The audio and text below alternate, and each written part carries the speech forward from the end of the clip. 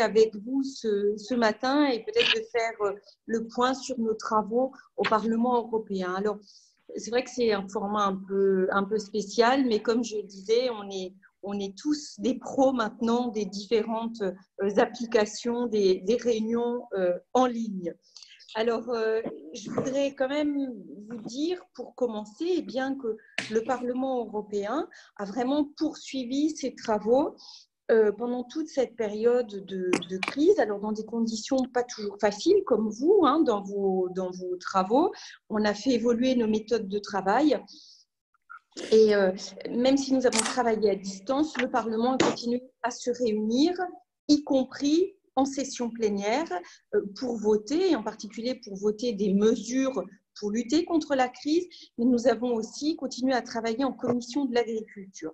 Alors, il faut bien dire aussi qu'au Parlement, les commissions n'ont pas toutes euh, évolué de, la même manière. Certaines ont été beaucoup plus dynamiques et je dois dire que c'était vraiment le cas de la commission de l'agriculture. Je, siège dans une autre commission qui est la commission emploi. Alors, c'est une commission euh, qui est moins législative, je, dirais, mais, mais, mais, qui, pour l'instant, n'a pas eu de rencontre avec le commissaire. Alors qu'au niveau de l'agriculture, on a eu un emploi du temps et un agenda euh, assez chargé. Voilà ce que je voulais vous dire. Et donc, dans nos travaux, eh bien, il y a eu les mesures de crise. Nous y reviendrons. Et c'est vrai, j'ai été euh, euh, désignée euh, rapporteur permanent pour l'OCM, donc en, charge du suivi de toutes les mesures, donc en particulier des actes délégués. Voilà pourquoi aussi je me suis beaucoup mobilisée, notamment sur euh, les mesures qui ont été euh, proposées pour le secteur euh, viticole, mais là aussi, je pense qu'on aura l'occasion d'y revenir et de, voir ce qui a été décidé au niveau des différents secteurs. Donc, vous vous occupez en fait des, actes délégués de l'OCM unique, donc ça, cadre toute l'OCM, hein. ce n'est pas uniquement par rapport aux mesures liées au coronavirus. Non, c'est l'ensemble. Hein.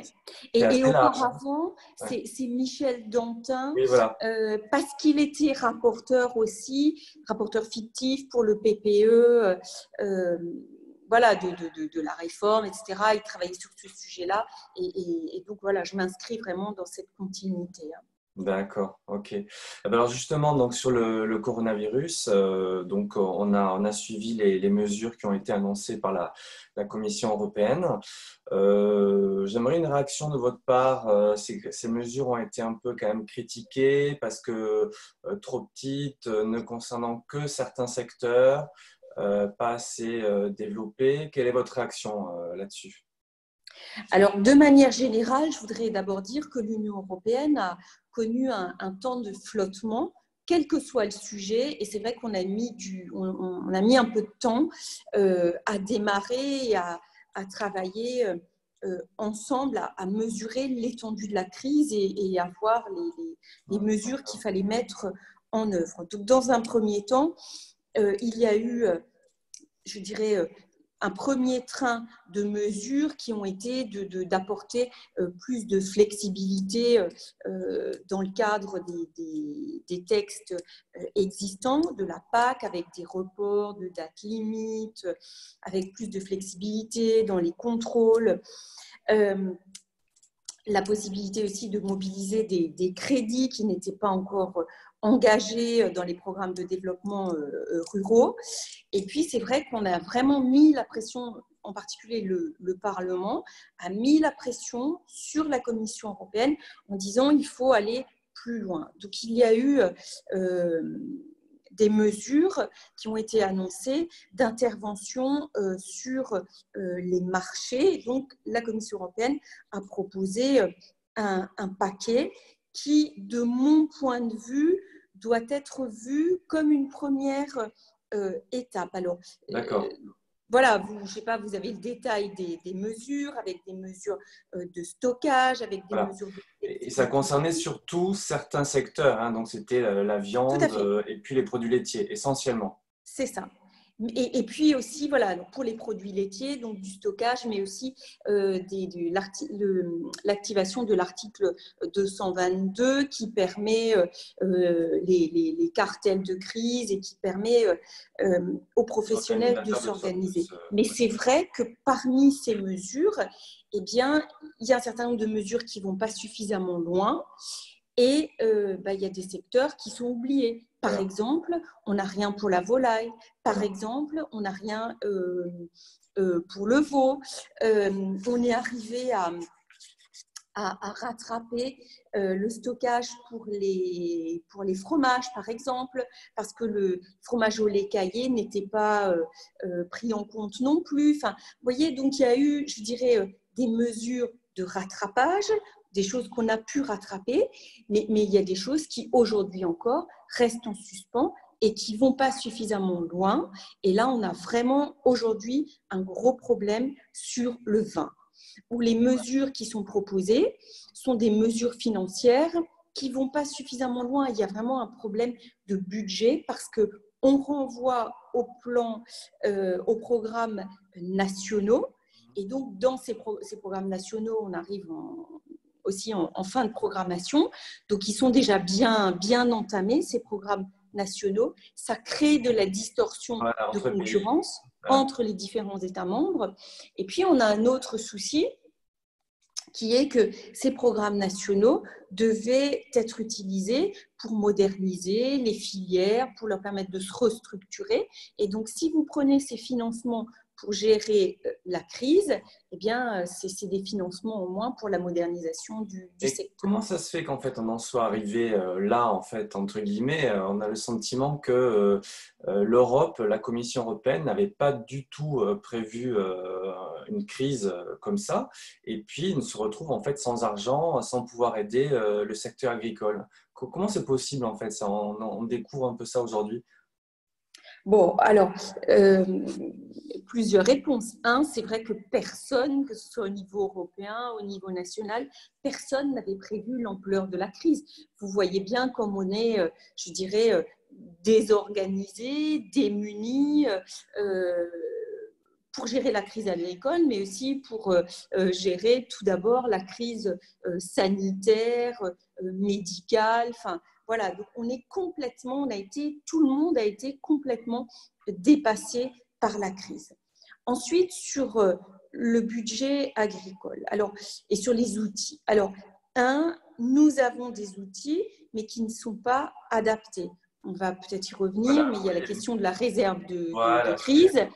Aujourd'hui, euh, plus de 400 millions d'euros qu'on ne peut pas mobiliser parce que c'est de l'argent qui a été euh, euh, prélevé directement sur les aides directes. C'est de l'argent qui a été pris aux agriculteurs et qui, si cet argent n'est pas euh, une petite parenthèse revient. pardon, excusez-moi, je vous coupe puisque vous en parlez de la réserve de crise. pour comprendre son fonctionnement, donc c'est l'argent qui est prélevé sur les aides du premier pilier, hein, donc sur les aides directes.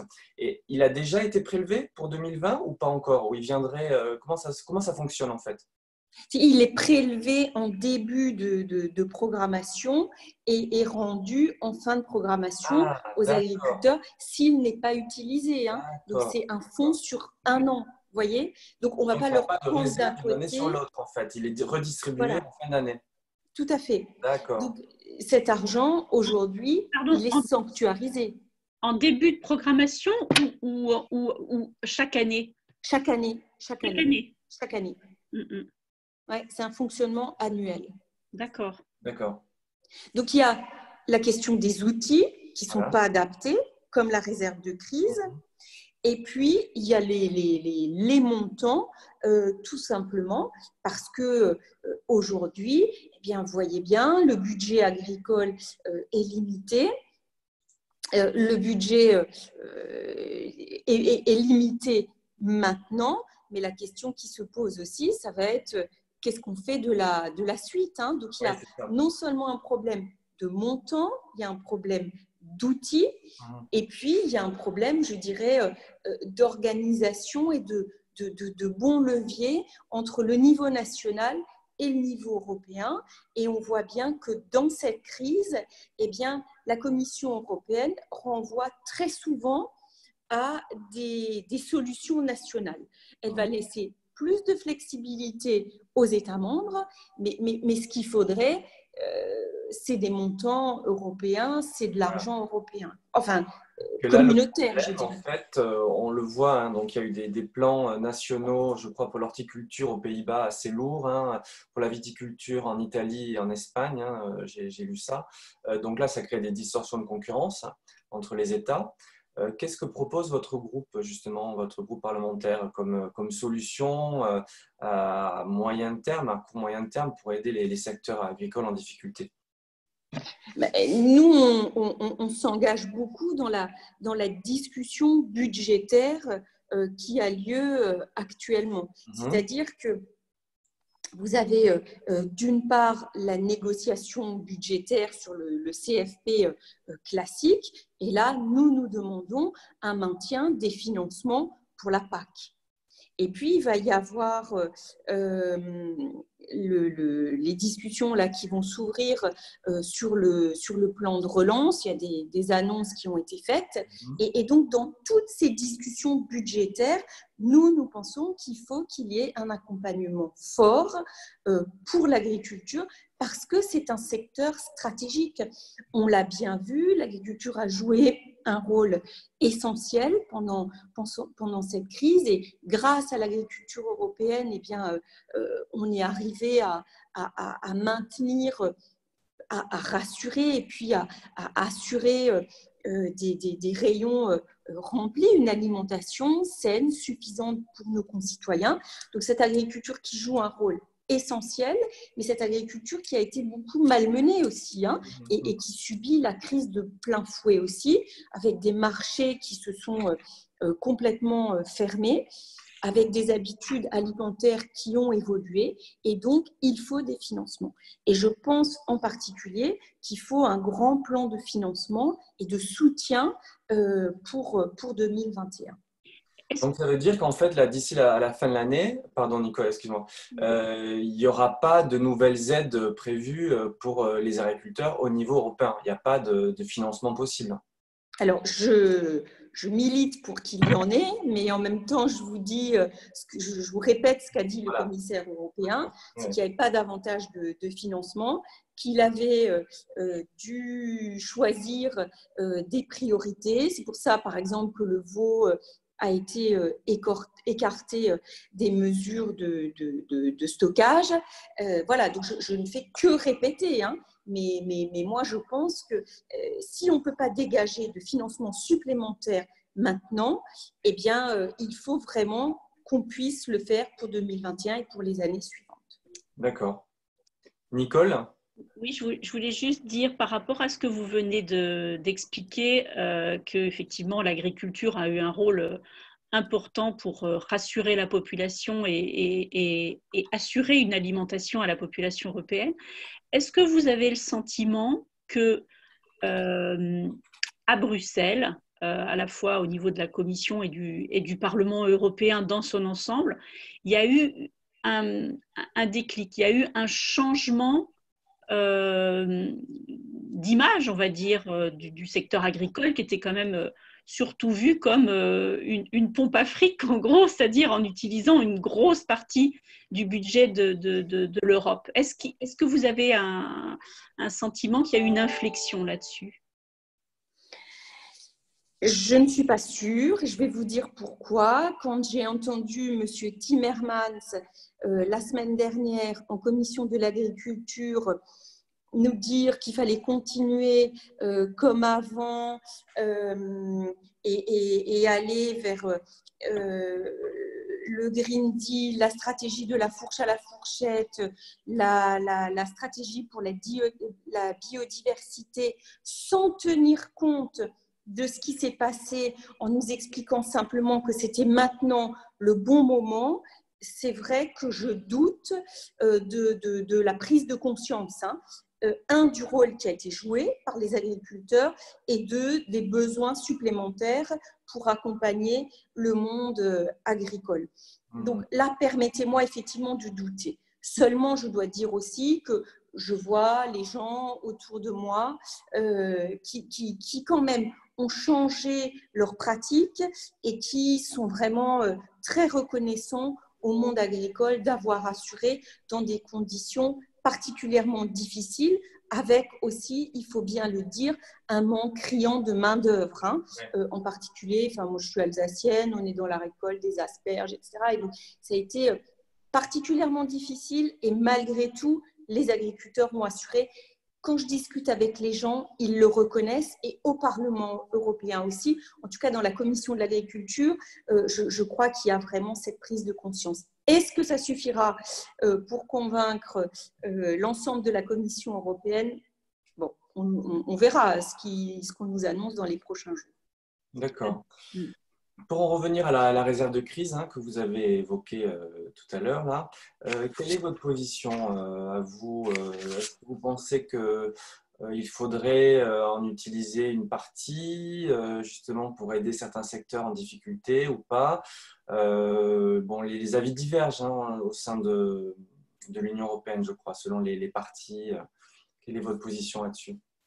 Écoutez, il faut être réaliste et aujourd'hui, c'est une. D'ailleurs, les États membres ne l'ont pas demandé, la France ne l'a pas euh, demandé euh, non plus. Donc, ça, c'est une mesure qui, pour le coup, ne sera pas euh, actionnée. Le ministre français l'a répété la semaine dernière parce que j'ai participé à la réunion de la, la commission des affaires européennes de l'Assemblée nationale et j'ai eu l'occasion de l'interroger là-dessus. Donc, voilà, mais, mais, mais, ça, on sait maintenant que c'est un, outil, d'ailleurs, qui, n'est jamais actionné hein, en, période de crise.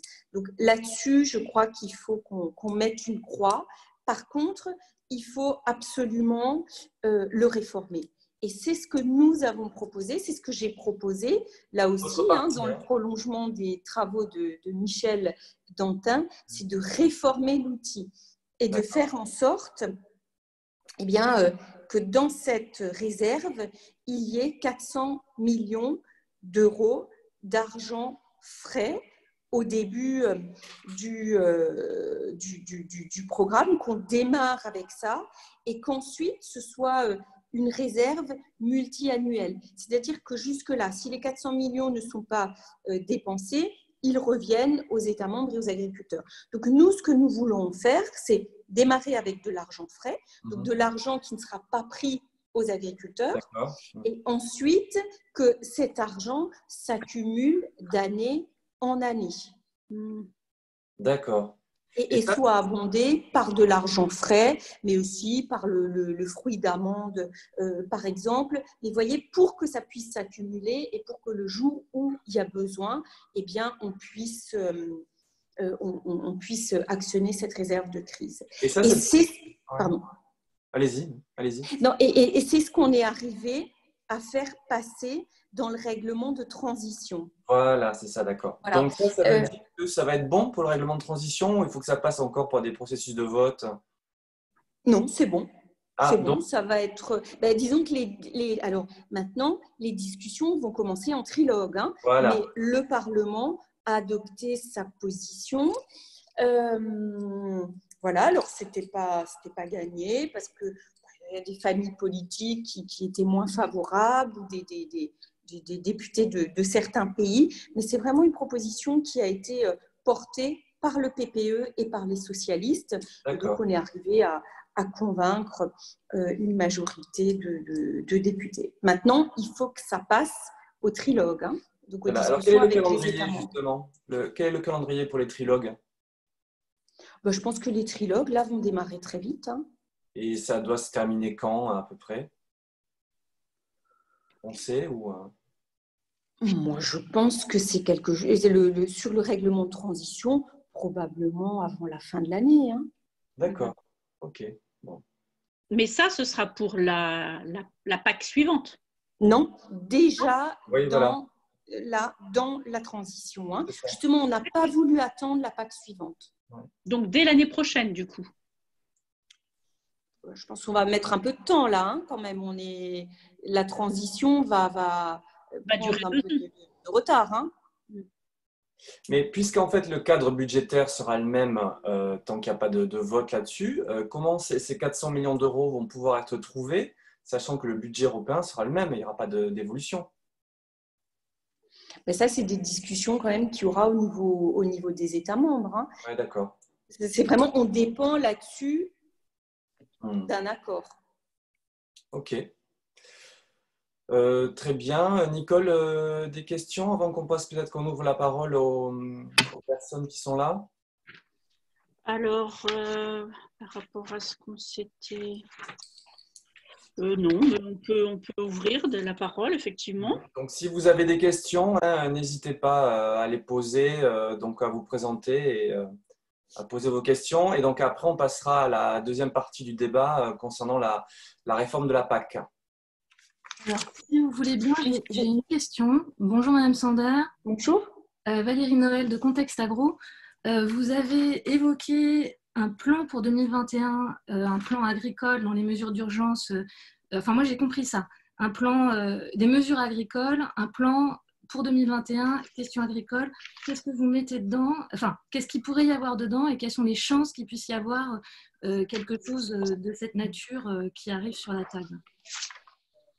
Alors, la, la, la, la, enfin, la chance euh, euh, bon, ça, je ne sais pas. Hein, euh, en réalité, on, on, continue vraiment à, se battre là-dessus et, à mettre la pression sur, le commissaire européen. Alors, vous dire aussi euh, qu'on est toujours, euh, enfin, le Parlement européen se pose aussi la question d'une objection ou non par rapport au, texte qui a été proposé, en particulier sur, euh, sur la viticulture. Hein. voilà, parce qu'il y a un problème non seulement de financement, mais il y a aussi un problème de date, puisque l'ensemble des mesures autorisées, en particulier la distillation de crise, tout ça doit être effectué et payé avant le 15 octobre prochain. Et ça, ça fait, c'est trop juste. Donc, ces mesures, finalement, ne pourront peut-être même pas être utilisées parce que ça ça, ça collera pas euh, au niveau, euh, au niveau, euh, au, niveau du, du calendrier. Et, et, donc, nous, nous allons continuer à mettre la pression sur la Commission européenne et, peut-être aussi eh bien, que ça va être un moyen, je ne sais pas, hein, on va voir là dans les, prochains jours, mais, peut-être de négocier avec euh, la Commission. Et dans la négociation, dans la discussion avec la, Commission européenne, il faut que euh, on prévoit eh bien, ce, plan, ce plan ambitieux pour 2021 pour aider en particulier les viticulteurs, mais pas seulement. Il va falloir voir aussi si la crise s'aggrave, dans quel secteur. Je dirais, on a passé deux mois vraiment très difficiles, les marchés ont été touchés, mais on sait aussi que les impacts euh, économiques euh, restent à venir on va voir dans quel état se trouve notre économie, on va voir quelles sont les entreprises euh, qui vont avoir euh, du mal. Je pense par exemple au secteur de la restauration. On a fait un point avec, euh, avec Interfel, l'Interpro sur les, fruits et légumes, qui nous expliquait que eux, ils avaient une, baisse aujourd'hui de leur, de leur, dans leur, de leur marché, de leur vente, mais, mais qui craignaient une baisse encore plus importante à venir parce que si les restaurateurs euh, demain ne redémarrent pas, vous voyez, il y, aura, il y aura un impact qui sera encore mmh. plus fort. Donc, il faut surveiller de près pour voir l'impact à moyen et à plus long terme.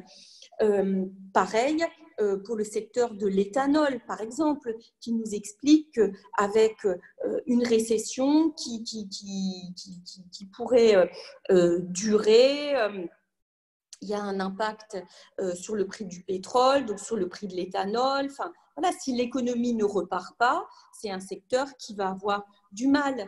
et il y a d'autres secteurs comme ça. Donc, dans ce plan, eh bien, il faudra aussi tenir compte des difficultés. Et puis là, je reviens toujours au secteur viticole qui, lui, est vraiment, connaît vraiment de très, très grosses difficultés. Le no-tourisme, je vois dans ma région en Alsace, je ne sais pas comment le no-tourisme va repartir cet été. On est une région qui a été fortement impactée, qui a une image euh, très négative aujourd'hui en France, et je ne parle même pas euh, euh, de l'extérieur, je ne sais pas comment ce secteur va pouvoir se, relever rapidement. Donc, vous voyez, il va y avoir des, conséquences à plus long terme. Donc, tout ça, il va falloir le prévoir. Vous avez évoqué le, cas de, l'éthanol, justement. Le, secteur, hein, notamment de la, betterave, euh, demande l'activation de clauses de sauvegarde. Ça, c'est n'est pas une mesure coûteuse. Pourquoi ce n'est pas mis en place, justement? Alors, nous, on, soutient cette demande euh, au niveau, euh, niveau européen. On a eu voilà, des échanges avec euh, euh, le commissaire européen que vous avez sûrement euh, suivi aussi. Pour l'instant, je dirais que, voyez, entre ce que nous considérons comme une crise et nos indicateurs, il y a, un, décalage avec, je dirais, je ne pas dire le ressenti, mais, mais, mais, avec la perception de la, de la Commission européenne, hein, où elle met du temps, et ça, c'est problématique. Quoi. Quand vous dites nous, c'est euh, votre groupe ou, ou c'est la Souvent, c'est les députés en général. D'accord. Très bien. Une autre question? Oui, Sophie Châtenay. Euh, bah, Sophie, tu peux la poser ou? Euh, Oui, oui, je la pose. vous m'écoutez? Oui, je ne savais plus. oui, une des propositions qui a été émise, là, c'est de faire, euh, pour financer les mesures de crise, c'est de se dire euh, solder la dernière année de programmation du second pilier. Mais on est bien d'accord qu'on créerait une crise dans la crise avec euh, tout ce que finance le second pilier, l'ICHN, les MAE, la prédation. quelle est votre position par rapport à ça? Et j'avais une seconde question par rapport à la réserve de crise. J'ai pas trop compris pourquoi on l'activait pas. Et enfin, une troisième question par rapport au règlement de transition PAC savoir où on en était. Et euh, sachant que l'idée de ce qu'on avait compris, c'était de reprendre les outils existants, euh, mais avec un budget un peu amputé sur le premier et le second pilier. Donc, comment on fait autant avec moins? C'est un peu fourre-tout mes questions, mais voilà. Merci. Alors, sur la réserve de, crise, euh, pour revenir sur le fonctionnement, pourquoi est-ce qu'on ne l'utilise pas? Parce qu'aujourd'hui, elle est financée avec des prélèvements qui sont effectués sur les, paiements des agriculteurs. Donc, les agriculteurs qui touchent des financements, les aides directes du premier pilier, on leur prend une, une, partie, on les taxe en quelque sorte, on met cet argent dans la réserve de crise et si en fin d'année, euh, l'argent n'a pas été utilisé au niveau européen, cet argent leur est rendu. Donc, si on prélève... Ça pose problème. Euh, voilà. voilà. Si, si, on utilise cet argent euh, aujourd'hui pour la réserve de crise, ils n'auront plus cet argent en fin de en fin d'année. Hein. Cet argent ne leur reviendra plus. Et en plus, on a des soucis parce que ce pas les mêmes qui financent, euh, qui perçoivent. Enfin, c'est très politique, c'est très sensible. Voilà pourquoi il faut réformer et rendre cela euh, indépendant des paiements directs. Il faut de l'argent frais et indépendant. Alors, les autres questions, justement, de Sophie Sur le deuxième pilier. Euh, sur le deuxième pilier, nous, on est très, très réticents à chaque fois que le commissaire euh, renvoie au deuxième pilier. Un, parce que en France, on a déjà beaucoup, beaucoup consommé le deuxième pilier. En gros, il reste, il reste pas grand-chose euh, dans le, dans le deuxième pilier.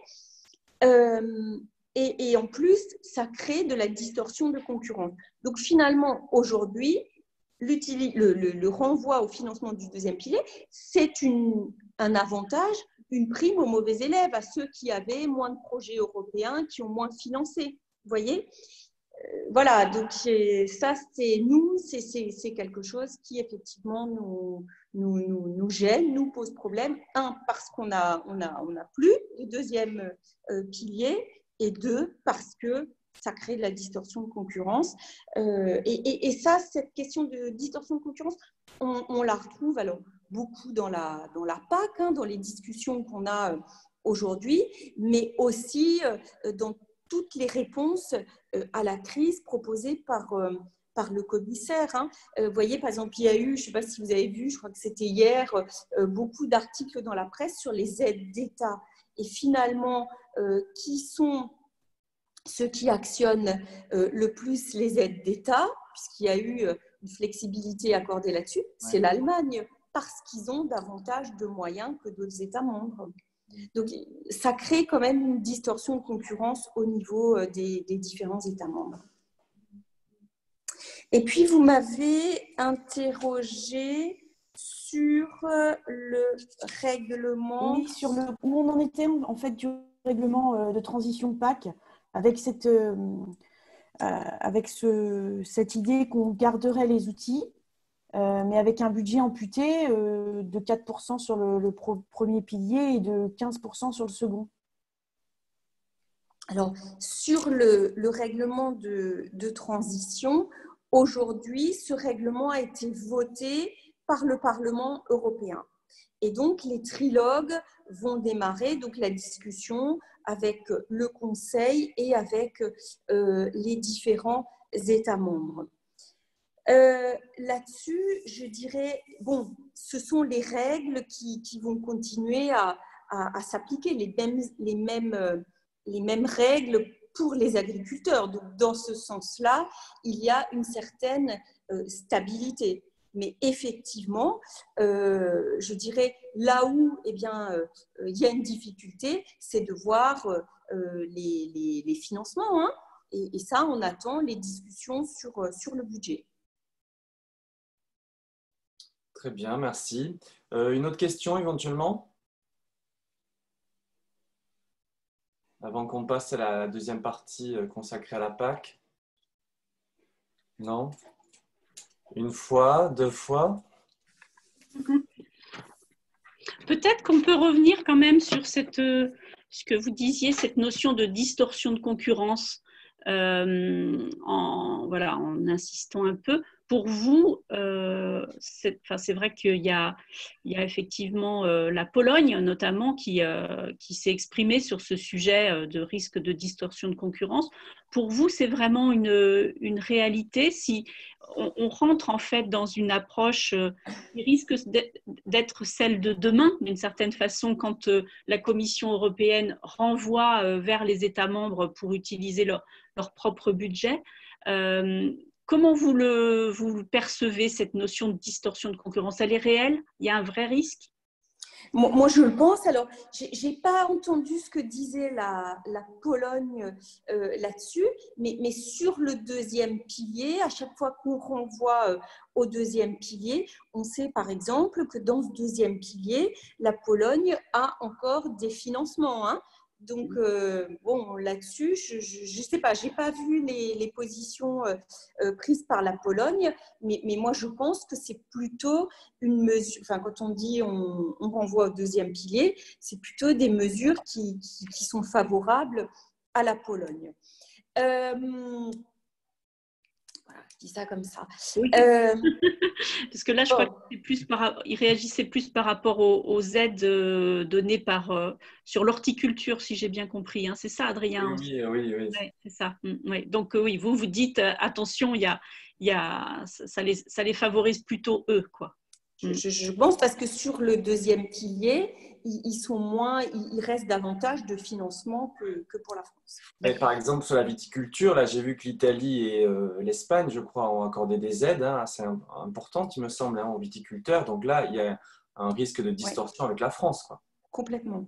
Complètement. Mais je dirais, c'est un peu, vous voyez, c'est dans l'air du temps. Hein, euh, cette, ah oui ce, renvoi à des mesures nationales. C'est d'ailleurs aussi la démarche dans la PAC et dans la, négociation de la, de la PAC. Hein. Et, et, nous, ce que nous voulons, c'est vraiment garder ce caractère commun de la politique agricole commune. Le marché est commun. La politique agricole commune, c'est la politique la plus intégrée, la première, la plus intégrée. Et donc, il faut vraiment eh bien, que nous gardions ce caractère commun. On va le retrouver dans euh, les mesures qui vont être euh, discutées, euh, que ce soit dans les plans stratégiques, mais que ce soit aussi dans le règlement horizontal dans tous ces textes, il faut veiller à, maintenir ce caractère euh, européen, alors qu'il y a une volonté de renvoyer aux, États membres. Mm. Mm. D'accord. Mm. Très bien. Euh, on passe à la deuxième partie, Nicole? Oui, tout à fait. Euh, alors, concernant, concernant la PAC, alors vous avez commencé à en parler un peu, mais euh, malgré tout, euh, euh, on ne peut pas commencer à parler de la PAC sans parler du budget PAC et du budget, parce qu'effectivement, c'est toujours le sujet. Peut-être que vous pourrez commencer déjà par la, question de la, du maintien du budget de la PAC. maintenant, c'est acquis que ce maintien du budget de la PAC, enfin, le prolongement, enfin, du prolongement, je veux dire, excusez-moi, je me suis trompée, le prolongement de la transition. La transition, voilà, la période de transition. Maintenant, c'est acquis qu'on est sur une période de transition de deux ans, hein, c'est bien ça.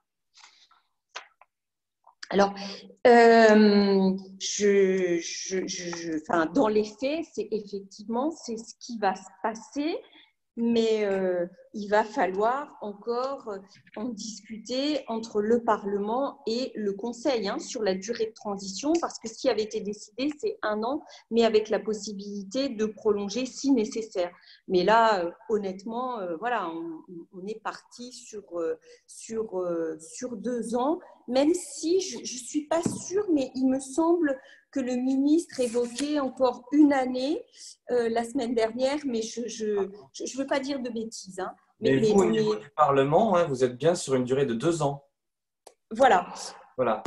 Voilà. Alors maintenant, il va y avoir la, discussion euh, en, trilogue, euh, mais, mais, nous, Bon, au niveau des groupes politiques, on a eu beaucoup de discussions là-dessus, même au niveau du PPE, où les gens disaient il faut un an, il faut un an, et puis il faut se laisser de la flexibilité. Mais c'est vrai qu'on était très, très conscients qu'on n'y arriverait pas. Et voilà, donc on, est, on sera sur deux ans. Euh, D'accord, c'est pas complètement acquis, effectivement, parce qu'il reste le, trilogue à, euh, donc, euh, qui va démarrer très bientôt, comme vous disiez tout à l'heure. C'est bien ça. D'accord. Mm, mm, ok. Alors, et concernant, euh, vous aviez quelque chose à rajouter sur le sujet? Excusez-moi. Non, non, non, non, non, sur le budget en général. Non, non. non, voilà, c'est ça. Donc, effectivement, sur le budget en général, donc il faut commencer évidemment par le budget européen avant de parler du budget de la PAC. Euh, on en est où dans les discussions? Parce qu'on a l'impression que ça tourne, ça tourne, mais est-ce que ça a repris? Enfin, où on en est aujourd'hui? Est-ce que ça s'est jamais arrêté, à vrai dire? Mais euh, Bon, alors là, je dirais tout, tout reste à faire hein, sur, le, sur le budget. Vous savez qu'il n'y a pas eu d'accord en, en, début d'année sur, euh, sur le cadre financier pluriannuel. On avait des propositions, euh, euh, des, des, positions différentes ou sur le, le, le CFP, eh bien, la Commission européenne proposer euh, une enveloppe de, de 1134 euh, milliards d'euros. Le Parlement qui, lui, voulait euh, maintenir un, budget identique et surtout continuer à protéger la PAC et les fonds, et les fonds structurels, a fait une proposition à un peu plus de 1300 milliards. Et puis, il y avait la proposition au Conseil qui était de 1000 milliards. Alors, je parle en montant, là où avant on parlait en pourcentage euh, du revenu national brut, parce que il faut qu'on soit extrêmement prudent avec les difficultés économiques des différents États membres euh, suite à la crise du Covid, continuer à parler de pourcentage, euh, pourrait, pourrait finalement nous conduire à une fausse image, hein, parce que si vous avez le revenu qui baisse dans les États membres, c'est évidemment c'est plus les mêmes montants. Donc vous savez qu'en début d'année, il n'y a pas eu d'accord entre les États membres et donc les discussions vont euh, se poursuivre. Les discussions se poursuivent et, en même temps, on a un nouvel élément puisque maintenant, il y a aussi euh, euh, la nécessité eh bien, de, prévoir un plan de relance. Mm. Et là, différentes hypothèses ont été, ont été identifiées, ont été évoquées. Et, je dois dire, nous, notre principale crainte, c'est que le parc qui ait un plan de relance.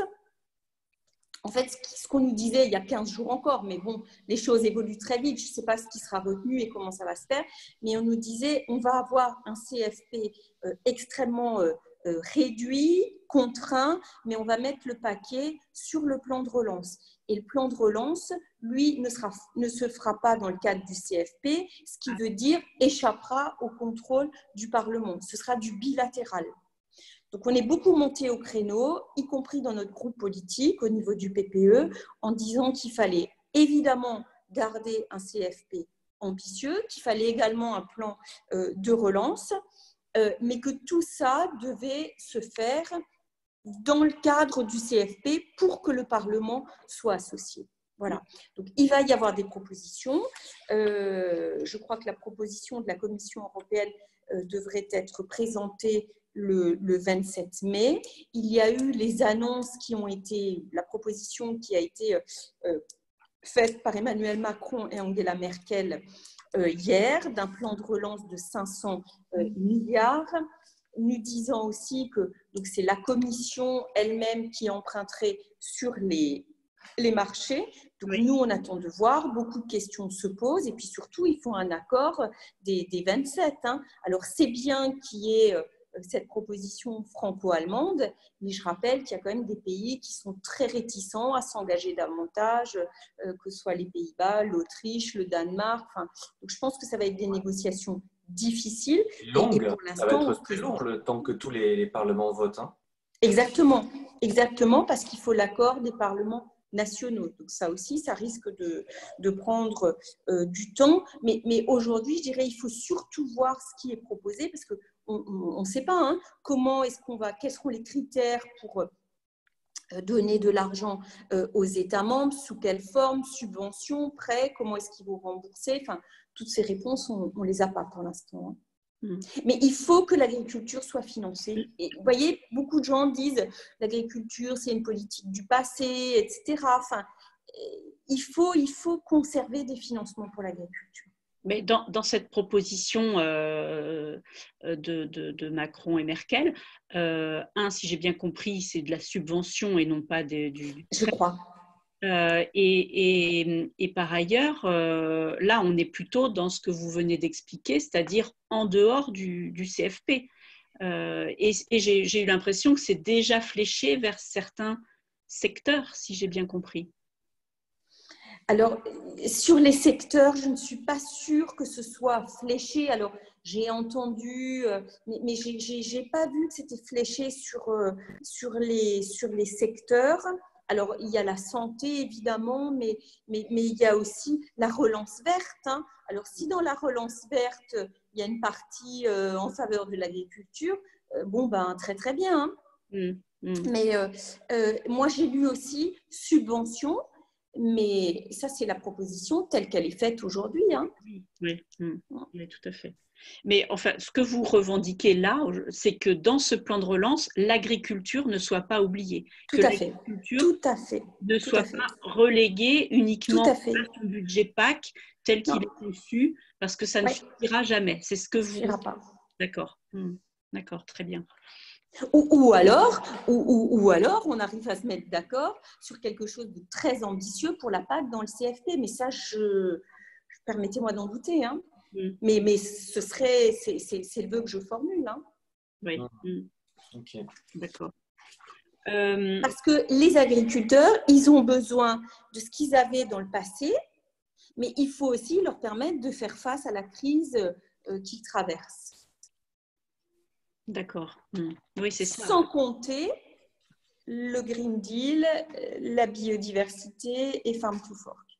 Hmm. Alors, on va y venir justement. Exactement. Exactement. Effectivement, c'est l'actualité, euh, puisque euh, si tout va bien, normalement, c'est demain qu'il y a l'annonce. Hein. Pour l'instant, cette date n'est pas, pas remise en cause. Euh, donc de l'annonce de la démarche Farm to Fork. Alors, comment on la traduit déjà? Parce qu'on voit plusieurs traductions en français. Comment vous, vous la traduisez? C'est de la fourchette à la fourchette ou c'est autre chose? Alors, on entend de la fourche à la fourchette, on entend aussi euh, de la, ferme, à, la, la, fourchette. Euh, moi, j'aime bien le terme ferme et j'aimerais bien qu'on se focalise sur la, sur la ferme. Hein, en accompagnement de la ferme, on va dire. En, en termes d'image, déjà, c'est c'est mieux que la fourche parce qu'elle n'est, elle n'est plus beaucoup utilisée, de moins en moins. Oui, puis c'est plus, c'est plus global. Hein. C'est un, euh, voilà, c'est un, c'est, il faut voir une entité économique euh, globale et diversifiée. D'accord. Bon, ça c'était une petite, euh, un petit, un petit sujet de sémantique pour commencer.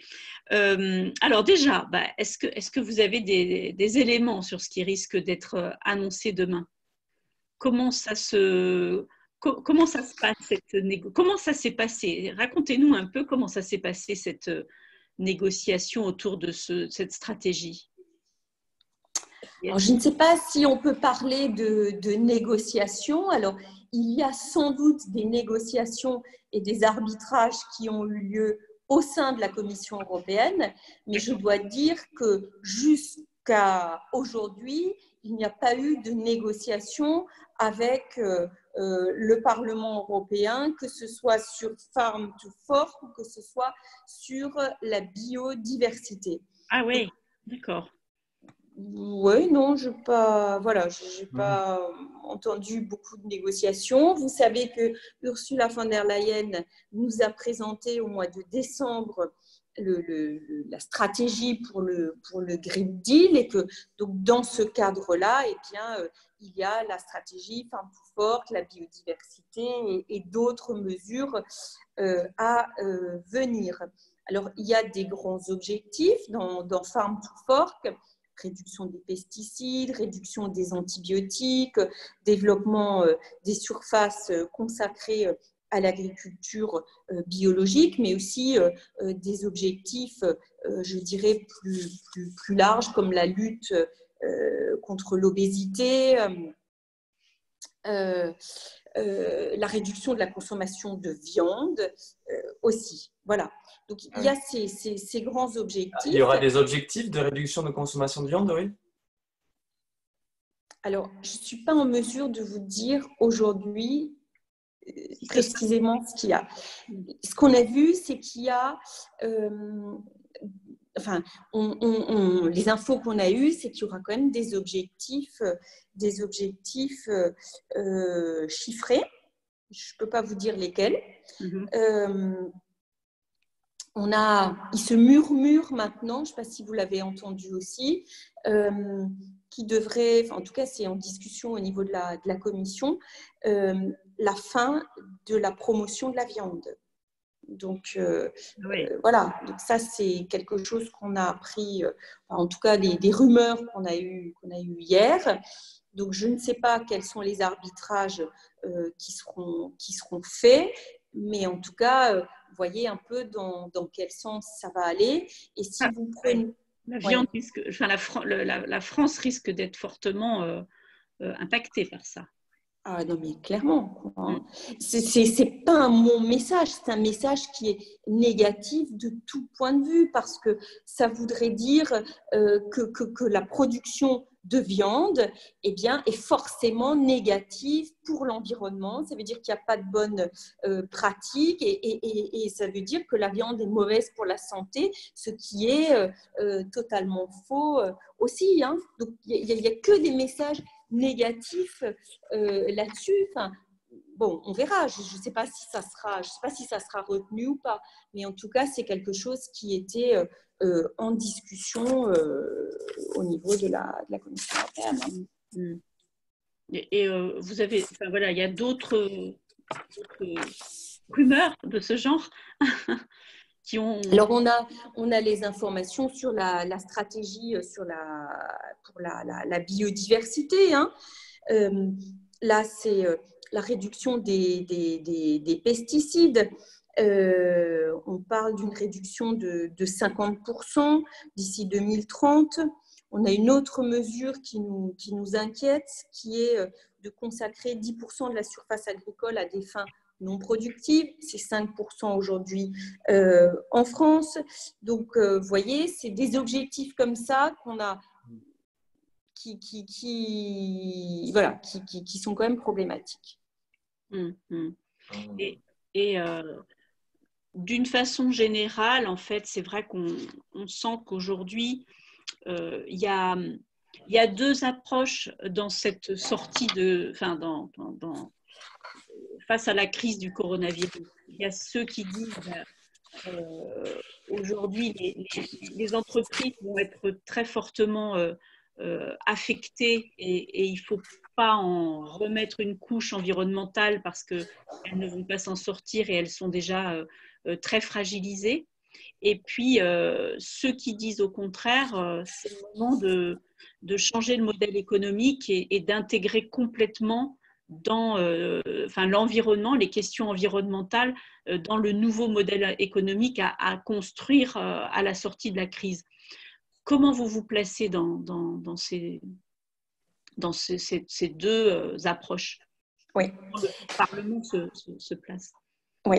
Certains disent même que la crise du Covid est en partie liée à notre modèle. Hein. J'ai entendu le, le, commissaire Timmermans euh, parler de, ça. Hein. Alors moi, je m'inscris totalement euh, en faux par rapport à ça. Moi, je voudrais vous dire différentes choses. D'abord, sur l'ambition environnementale de l'Union européenne.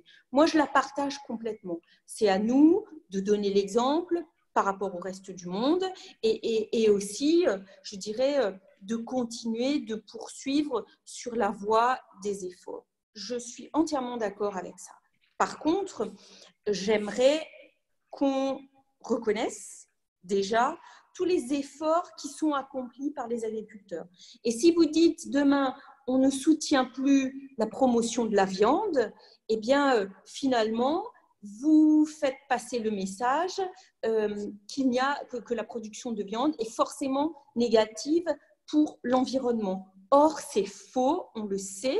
Je dirais, euh, la production, les productions animales, végétales euh, contribuent à entretenir les territoires au-delà de l'aspect euh, alimentaire, mais, entretiennent aussi la, la biodiversité et il y a des pratiques qui sont très très respectueuses de l'environnement. Donc, je voudrais déjà qu'on reconnaisse cela en disant les agriculteurs sont une partie de la solution, mais pas comme on fait aujourd'hui en disant c'est de leur faute s'il y a une baisse de la biodiversité. Ça, c'est la première chose. Ensuite, il y a la question du calendrier.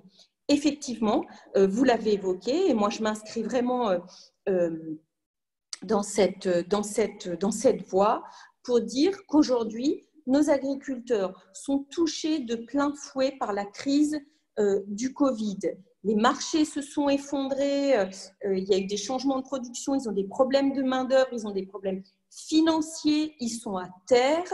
Est-ce que c'est vraiment le bon moment maintenant pour leur imposer de nouvelles contraintes? Alors, quand j'ai interrogé euh, le ministre de l'Agriculture française là-dessus la semaine dernière, il m'a dit oui, bon, il faut se doter d'une stratégie et puis on verra les moyens financiers après. Tout n'est pas financier moi je veux bien, mais quand vous n'avez plus de trésorerie, quand vous n'avez plus de moyens pour faire tourner vos exploitations et qu'on vous dit, eh bien, euh, vous devrez euh, euh, payer davantage les intrants parce qu'on en supprime la moitié, on vous dit, on vous prend des surfaces productives, mais sans accompagnement financier qui soit suffisant, comment on fait? Donc moi, je pense qu'il y a un, un problème de calendrier et deux, un problème de budget. Quels moyens on se donne pour accompagner les agriculteurs dans cette transition. Vous discutez avec les agriculteurs, ils sont tous partants, ils vous disent tous, nous, on est, on est partants pour améliorer nos pratiques, mais il faut nous donner les moyens. Et puis, il y a un autre élément dont il faut tenir compte, c'est qu'est-ce qu'on fait des produits qui rentrent de pays tiers au sein de l'Union européenne Est-ce que ces pays, euh, est-ce que ces produits venant de pays euh, extérieurs vont répondre aux mêmes normes euh, qui sont en vigueur au sein de l'Union européenne? Et là, on sait bien aussi que la question est non. Ensuite, deux derniers points. Là-dessus, moi, mon ressenti, c'est aussi de dire cette crise, alors bien sûr, notre agriculture et notre alimentation doivent monter en qualité. Mais vous savez aussi que cette crise, eh bien, elle va laisser beaucoup de gens sur le carreau. Et moi, je milite eh bien, pour que les Français, pour que les Européens puissent continuer à se nourrir convenablement, sainement, euh, des aliments de qualité diversifiée mais à un prix qui soit abordable. Donc ça aussi, c'est un élément eh bien, euh, dont nous devons euh, tenir compte.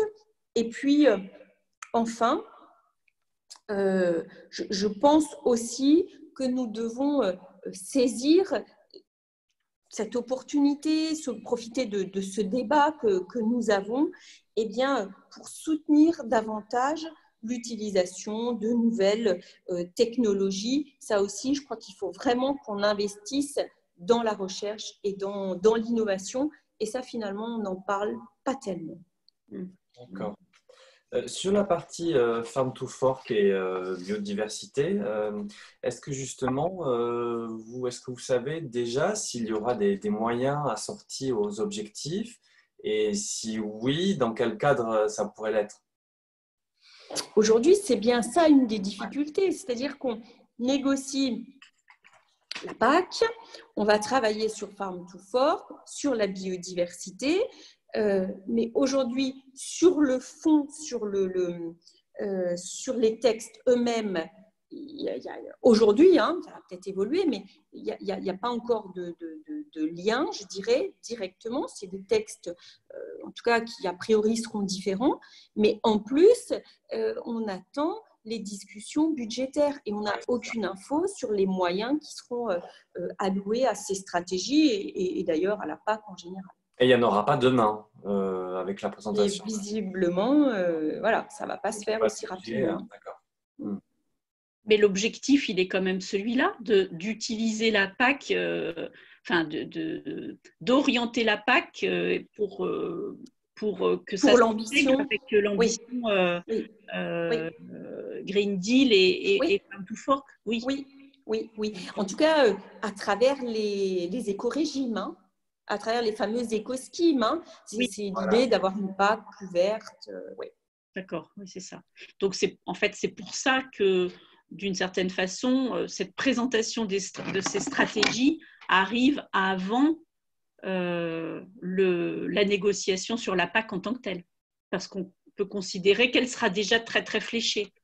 Euh, oui, bon, enfin, vous voyez, les négociations sur la, sur la PAC, ça fait quand même longtemps qu'on y, qu'on y travaille. Hein. et, le nouveau Parlement à continuer à travailler dessus depuis, depuis un an maintenant. Hein. Alors c'est vrai qu'on a peut-être un peu ralenti et à un moment donné maintenant il va y avoir peut-être, je, ne sais pas, une, possibilité de rattrapage ou pas, mais euh, je, ne suis pas sûre non plus parce que moi ce que j'ai ce que j'ai compris, en tout cas ce que nous a dit euh, euh, la commissaire Kyriakides la semaine dernière, c'est que les stratégies vont être présentées, mais pour l'instant, ce ne sera pas assorti de propositions législatives. Hein. Donc, vous voyez, je, voilà, dans les objectifs, ça converge, mais, mais, mais sur la manière de travailler, sachant qu'il n'y a pas encore de propositions législatives, je ne peux pas vous dire à quel moment euh, tous ces textes vont se, vont se retrouver. Hein. Quand vous dites que ça ne sera pas assorti de propositions législatives, ça veut dire que ça, ne va pas être mis dans les mains du Parlement européen en débat. C'est ça que ça veut dire? Alors, je pense que le Parlement, euh, sans doute, votera, je ne peux pas vous le confirmer, hein, mais j'imagine que le Parlement européen se prononcera sur la stratégie, sans doute, hein, euh, mais ensuite, cette stratégie, elle va se décliner avec des propositions législatives plus, plus spécifiques. Hein. Mm. Par exemple, euh, alors attendez, si, vous prenez, si, si, vraiment il y a la fin de la promotion de la, de la viande, eh bien, je pense que derrière, ça veut dire une proposition législative de la Commission européenne sur le règlement. Il y a un règlement euh, ah, promotion, euh, euh, voyez, et, donc on rouvre le règlement provision et on, on l'amende. Hein. Oui, d'accord. Oui, il, faudrait remettre en cause, réécrire effectivement le règlement qui concerne la promotion. Voilà. Et, ça, ce sera euh, vrai sur les, différentes promotions, enfin sur les différents objectifs et, les différents éléments de la stratégie. D'accord. Oui, oui, je comprends. Donc pour l'instant, je pense que voilà, on n'en est pas là. Oui, d'accord. Oui, je comprends. Ok, parfait. Euh, alors, concernant, vous, vous parliez tout à l'heure de de, l'entrée euh, de, produits agricoles euh, au sein de l'Union européenne euh, et puis ce décalage qu'il peut y avoir entre les exigences internes à l'Union européenne et puis ce qu'on ce qu'on fait rentrer. Et, ça me ça m'amène directement aux, accords de libre-échange. Et notamment, c'est vrai que ça, ça, a perturbé quand même quelques-uns de voir que alors qu'on était euh, dans une, espèce de, de, période bénite où on entendait à nouveau parler de, de comment dire, de souveraineté euh, alimentaire européenne en, pleine période du coronavirus. Et, dans le même temps, l'Union européenne est en train de, comment dire, de, finaliser l'accord de libre-échange avec le Mexique euh, où il y a quand même aussi des, l'agriculture est, un peu concernée. Euh, est-ce qu'il n'y a pas un décalage là aussi? Est-ce que ça ne prouve pas qu'effectivement on ne change pas de monde de tout qu'on fait? Oui, moi, je, effectivement, euh, moi, ça me pose problème aussi. On est, voilà, on continue, mais, mais, au même moment, en pleine crise, il y a eu aussi, euh, alors là, ce n'est pas lié à l'agriculture, mais il y a eu euh, la, poursuite des négociations d'adhésion avec l'Albanie et la Macédoine du Nord, qu'on a accepté comme candidat euh, pour l'élargissement de l'Union européenne. Donc il y a comme ça des aberrations. Cet accord avec le Mexique le montre bien, alors que nos producteurs de viande sont en difficulté, l'étaient déjà avant, hein, mais, là, bien évidemment, c'est largement euh, euh, accentué, beaucoup plus important. On met en place des mesures euh, de, stockage de viande, des mesures de crise, et en même temps, on annonce des accords avec des pays eh qui vont, où, il y a effectivement il y a des problèmes, et en particulier sur, sur la viande. Donc il y a un décalage total. Je suis entièrement d'accord avec vous et, c'est très difficile de défendre l'Europe, euh, de soutenir l'Europe auprès des Européens, auprès de la population et là auprès du monde agricole. Ça nous décrédibilise totalement. Oui, d'accord, oui, c'est ça. C'est ce type de, de, contraste permanent qui fait que l'Union européenne, enfin, l'Europe est Très mal perçu. Brouillonne et, mal perçu, ouais, c'est ça. Complètement. Mm. Complètement. Mm. D'accord. Et ça, voilà, euh, on n'a on pas changé ça, quoi. Non, non, non. C'est pour ça quand vous me posiez en, début de, rencontre la question est-ce qu'on tient compte euh, de ce qu'on a vécu euh, dans les stratégies. Voilà, vous voyez, enfin, oui et non, quoi. Oui et non, mais là, en l'occurrence, c'est absolument pas. Mmh, mmh, d'accord. Euh, alors, j'ai une, euh, une, question euh, qui, m'a été demandée parce que c'est une question importante autour du, foncier et autour de la consommation de, terres agricoles. donc, il y a... le Parlement européen avait voté en avril dernier, en avril 2017, un, rapport contenant des préconisations pour inciter à, une bonne gestion du foncier agricole. est-ce, que vous, est-ce que ce sujet du foncier agricole est encore sous-jacent Est-ce qu'on en entend encore parler? Est-ce que voilà, la PAC de demain pourrait intégrer ce sujet qui a toujours été un peu compliqué à gérer au niveau de, l'Union européenne? Alors moi, depuis que je siège en commission de l'agriculture, sur le foncier lui-même, sur euh, euh, tout dépend hein, de ce que vous appelez foncier, mais les relations propriétaires, locataires, enfin toutes ces questions-là, euh, moi j'ai pas eu à les traiter. Hein. D'accord. Mmh. Mmh. Alors, je ne sais pas ce qu'il y avait dans l'avis de, ou, sur le texte de, 2017, mais euh, le foncier en tant que tel, enfin, je réfléchis, mais on n'a pas eu. Euh, on n'a pas eu à le, à le, traiter. Hein. Mmh, Après, sur les surfaces, etc., oui, bien sûr, mais, mais pas le foncier en tant que tel et les questions qui nous, généralement, nous sont posées au niveau euh, euh, national. Hein, euh, parce que quand je, vais, par exemple, aux, AG des différents syndicats agricoles ou, secteurs de la profession agricole, il y a toujours des questions sur le, foncier, sur la préservation des terres agricoles, la consommation, etc. c'est toujours des questions qui, qui, reviennent, mais pour lesquelles il n'y a pas de. débat au niveau européen. Non. Hmm, d'accord. Hmm, d'accord. Très bien. Bon, moi, j'ai fait un peu le tour. Euh, s'il y a des personnes qui veulent poser des questions, n'hésitez pas. Est-ce qu'il y a, qu'il y a des questions? euh, À nouveau, du contexte, euh, j'ai une petite question sur le, sur le budget, enfin pour revenir sur le budget PAC. Parce que vous avez parlé donc de effectivement le, la partie euh, relance et qui modifie complètement les équilibres, mais sur le budget de la PAC qui doit quand même être euh, sur le CFP, quoi.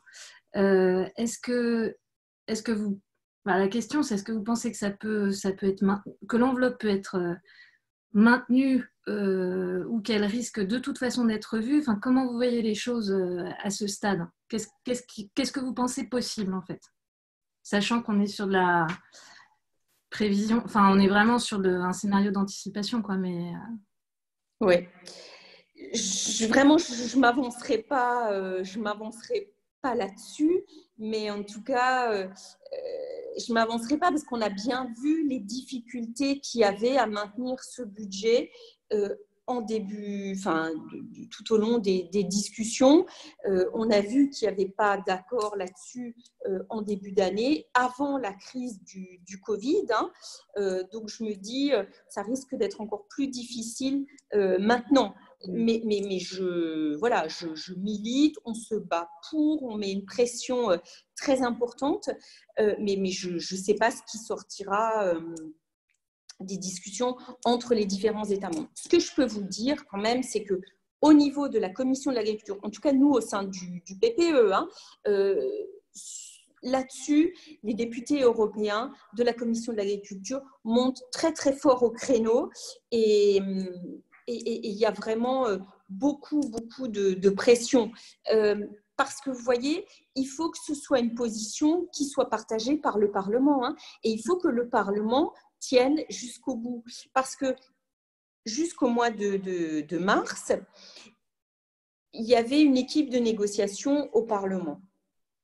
Cette équipe de négociation nous disait toujours, voilà, la PAC fait partie des priorités. Il y en a d'autres hein, au niveau du, du, Parlement. Il y a aussi euh, euh, les fonds de cohésion. Enfin, il y a, il y a, beaucoup de, de, politiques prioritaires au niveau euh, européen. Et donc, le Parlement a toujours maintenu une position forte en disant, voilà, on, se bat pour tout, on se bat pour le budget du Parlement.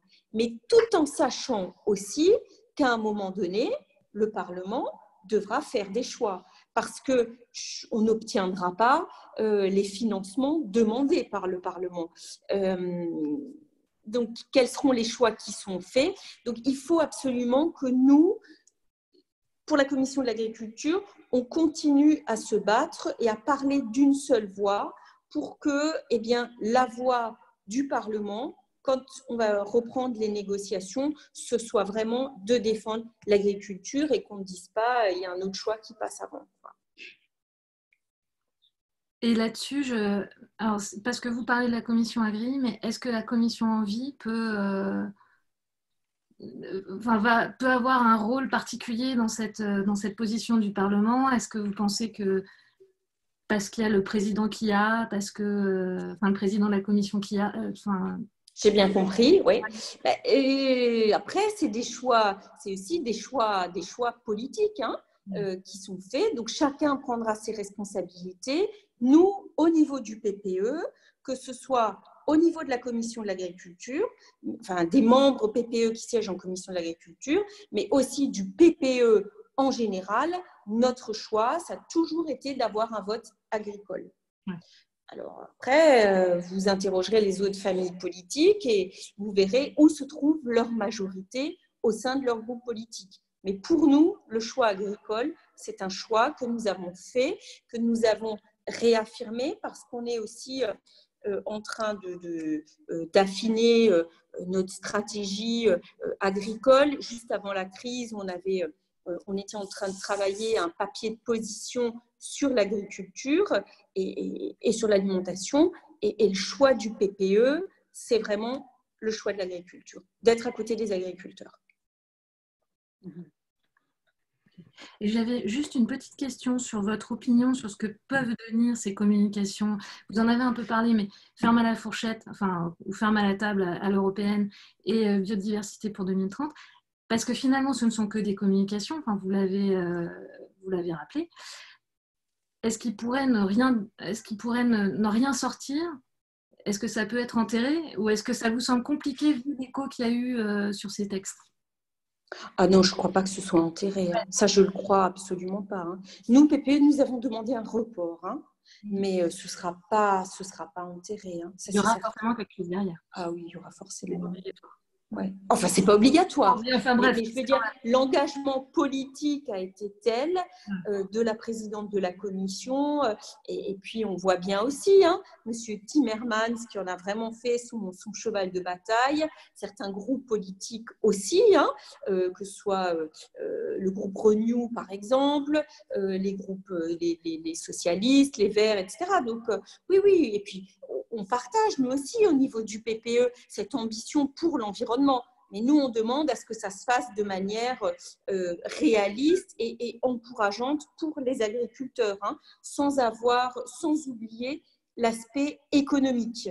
Parce qu'on peut avoir les meilleures ambitions du monde, s'il n'y a pas une réalité économique dont on tient compte euh, derrière, c'est problématique et ça mène à rien, ça mène droit dans le mur. Hein.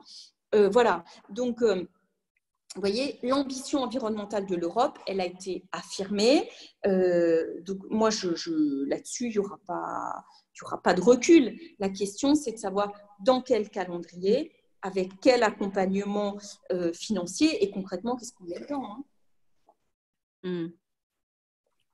Mais euh, dans ce que vous venez d'expliquer, dans la mesure où on n'en est pas encore à des mesures législatives, de quoi qu'il arrive, on, est quand même sur un temps relativement long de mise en œuvre. Oui, oui, je pense que ça va. Oui, sans doute. Hein. Oui, oui, oui, oui, sans doute. Ça, va sans doute prendre un peu de temps parce que euh, il faut qu'on ait les propositions législatives. Il faut ensuite qu'on les vote au Parlement. Il faut qu'il y ait un accord euh, au Conseil. Il y a les trilogues. Donc, euh, oui, oui, ça prend, ça prend un peu de temps. Oui, donc les textes et les dispositions proposées par la Commission seront amendés, vont évoluer, quoi. Mmh mmh Mm. Bien sûr. Ok. Est-ce qu'il y a d'autres questions? Est-ce qu'il y a besoin de précision? Non, on a fait le tour. Bon, bah écoutez, euh, on, a, on a répondu, euh, j'espère, à, à, toutes, les, à toutes vos, questions. En tout cas, merci beaucoup, euh, Anne Sander. Il y, a, un communiqué de presse d'Éric Andrieux qui vient de tomber, qui, euh, qui dit effectivement, contrairement à d'autres groupes, nous, on veut que ce soit, ce soit le, le plus rapide possible et avec mmh. une ambition forte. Donc, c'est ce que vous c'est ce que vous, euh, vous disiez. Vous n'êtes pas tout à fait en, sur la même longueur d'onde sur ces questions-là. Vous, vous demandez plutôt un report, en fait. On demande un report, on a beaucoup d'ambition, mais il faut avoir des moyens pour accompagner. Et, pour, pour, pour, vous, la priorité aujourd'hui, c'est la sortie de la crise de... C'est la sortie de la crise. Hein. Mmh. La sortie de la crise et l'accompagnement à moyen et à plus long terme. Parce qu'il y a la crise à très court terme, ce qu'on vient de vivre pendant les deux derniers, les deux derniers mois, et puis il y a ce qu'on va vivre dans les 12 prochains mois. Mmh, mmh. Euh, peut-être une, dernière question, enfin un dernier, euh, comment dire, euh, commentaire là-dessus, c'est que on voit qu'on est en train de rentrer encore une fois dans une période de sécheresse. Et, et, ça, par contre, effectivement, c'est une vraie contrainte supplémentaire. Tout à fait pour les agriculteurs euh, partout, euh, euh, pas qu'en France, là, du coup. cette question-là, là, elle doit vraiment être prise en compte aussi. Tout à fait. Oui, elle doit être prise en compte. Et là aussi, il faut, bien sûr, vous voyez, on, partage, hein, le, quand je disais on partage l'ambition environnementale parce que les agriculteurs eux-mêmes font, font, font, les frais de ce changement euh, euh, climatique. Hein. Donc, bien sûr, il faut, il faut qu'on travaille là-dessus. Mais sur le, la question là, de la sécheresse euh, à plus court terme, il faut aussi permettre aux agriculteurs d'investir dans des infrastructures. Il faut qu'au niveau euh, de la PAC, on prévoit aussi des instruments. On a aujourd'hui, euh, je, dirais, euh, deux périodes dans l'année. On a des périodes où les champs des agriculteurs sont noyés sous des trompes d'eau et on ne fait rien de cette eau. Et puis, il y a des périodes de sécheresse. Donc, il faudrait aussi permettre aux collectivités, aux agriculteurs d'investir pour mieux, je dirais, euh, euh, réguler ses capacités ou, ce manque d'eau, hein, de garder euh, l'eau de, l'hiver et du printemps pour mieux l'utiliser quand il y, en a, il y en a besoin. Donc là aussi, je crois qu'il faut qu'on arrive à, imaginer des outils, des outils qui favorisent les investissements. Hmm. C'est vrai que cette année est particulièrement criante là-dessus les pluies hivernales et puis la sécheresse printanière, euh, on est vraiment dans une année euh, caractéristique, quoi, typique de, ce que, les agriculteurs vont vivre de plus en plus. Oui, oui, oui. Puis ces dernières années, voilà, c'était compliqué à chaque fois. Rappelez-vous, là, le mois d'août, cette année qui était terrible. Hein, enfin, et, on sait que ça va se, se poursuivre. Donc, bien sûr qu'il faut qu'on travaille sur ces sujets-là. C'est indispensable. Ok, bah écoutez, merci beaucoup euh, Anne Sander. Merci. merci à vous du temps que vous nous avez consacré. Et puis, euh, bah, peut-être qu'effectivement, on, on pourra euh, se permettre de revenir vers vous pour avoir votre réaction juste après les annonces de, de, cette stratégie Farm to Fork. donc, bah, écoutez, merci beaucoup. Euh, Adrien, si tu veux prendre la parole un petit peu aussi. Ah non, je vous remercie aussi hein, donc, pour cet échange très intéressant. J'espère qu'on pourra le renouveler hein, peut-être dans euh, les, prochains mois. Je pense que c'est pas mal pour les, pour les, adhérents euh, de, pouvoir échanger avec des députés européens. Donc, on a d'autres rendez-vous déjà calés. puis je remercie aussi donc toutes les personnes qui étaient là ce matin, qui ont posé des questions aussi. voilà. Donc on espère que ça, ça a intéressé tout le monde. Retrouvez l'actualité de l'AFJA sur www.afja-asso.fr.